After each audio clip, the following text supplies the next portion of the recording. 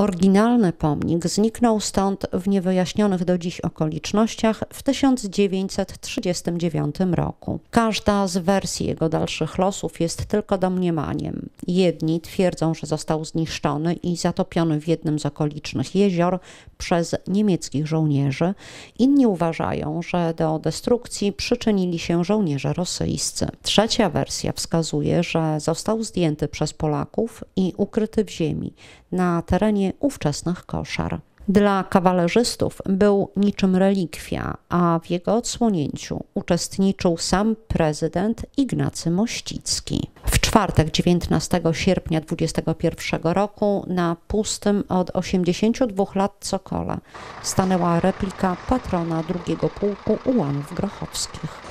Odtworzeniem sylwetki generała zajęło się dwóch białoruskich rzeźbiarzy Władimir Pipin i Konstantin Kostiuczenko. Podobnie jak pierwotną wersję, postać dowódcy kawalerzystów walczących w powstaniu listopadowym wykuto w Piaskowcu.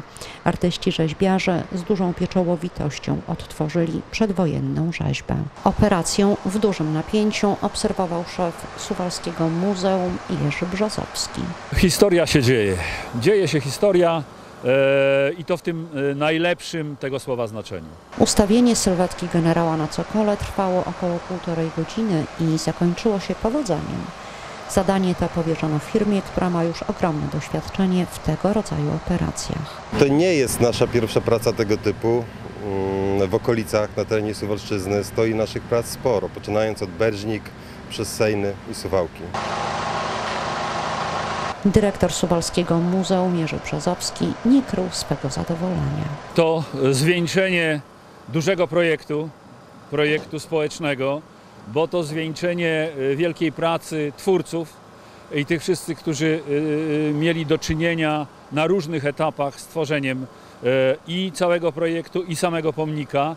E, To też ukłon w stronę samych rzeźbiarzy, którzy e, po wykonaniu swojej pracy wyjechali z powrotem e, do Mińska i na Białoruś.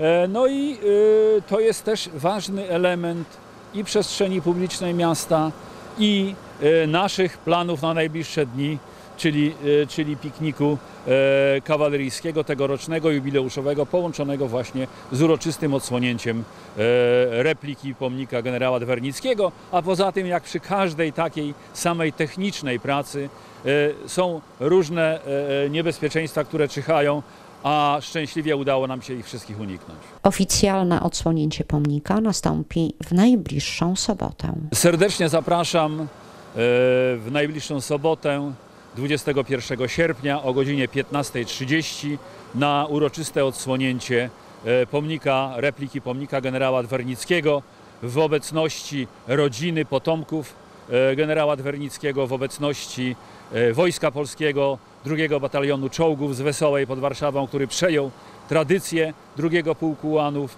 e, w obecności wszystkich, którzy te tradycje pielęgnują, a także z udziałem dużej grupy.